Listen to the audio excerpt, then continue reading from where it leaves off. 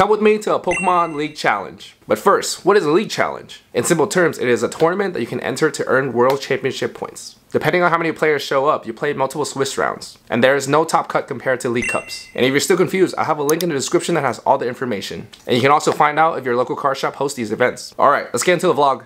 There are 25 players tonight, which means we're playing 5 rounds. For the first round, my opponent had a mulligan, and it seems like he's playing some sort of water deck. For me, I'll be playing Lost Zone Giratina.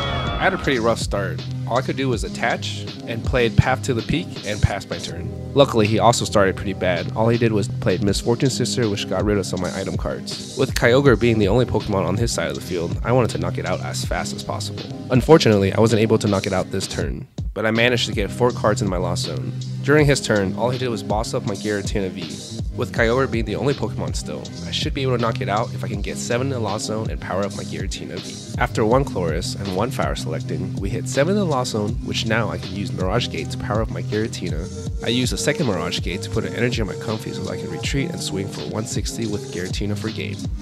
Moving on to round 2, we face our friend Victor. Sadly for him, he only started with Skwovet, attach an energy, and pass turn. All I had to do my turn was get 4 in the Lost Zone and attack with Cramorant to end the game. Seems easy to do, but we weren't able to get Comfey out of the active even though we already got 4 in the Lost Zone.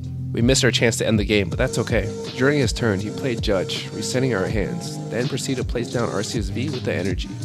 I added more cards to my Lost Zone and then knock out his Skwovet with my Cramorant. Only thing Victor could do during his turn was boss up my Giratina to potentially stall. After a few more turns, Victor ended up scooping, putting us with a record of 2-0.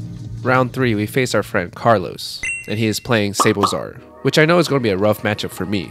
Unfortunately, my camera had an error so I wasn't able to record our full game. After a long battle, he took the win, and I am now 2-1. Round 4, we went up against Mew VMAX, pilot by Daniel, aka my friend's Lewis dad. If you're watching this, I just want to say thank you for supporting the channel.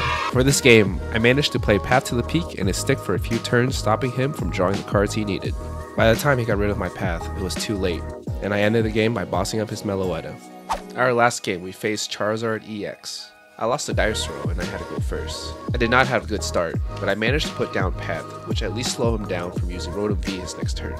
We both set up and took turns knocking out each other's Pokemon, until the very end when I played my last Path and he was unable to respond, and I finished off the game by knocking out his last Charizard EX. And we ended the night with a record of 4-1, putting us at third place, which gave us 10 championship points. For third place, I also got 5 Paldea Evolve packs. So you already know, let's crack these open.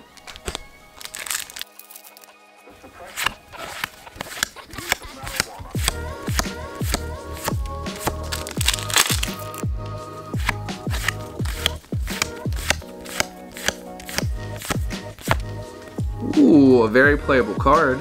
We take those. Pack number three.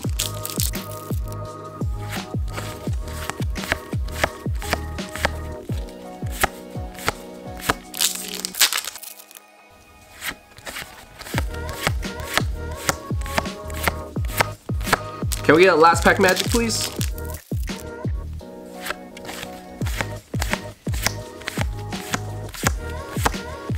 Not the best pull, but I had a great time at my league challenge. If you guys enjoyed the gameplay slash vlog, make sure you guys let me know in the comments so I'll do more. And make sure you guys check out my other videos right here.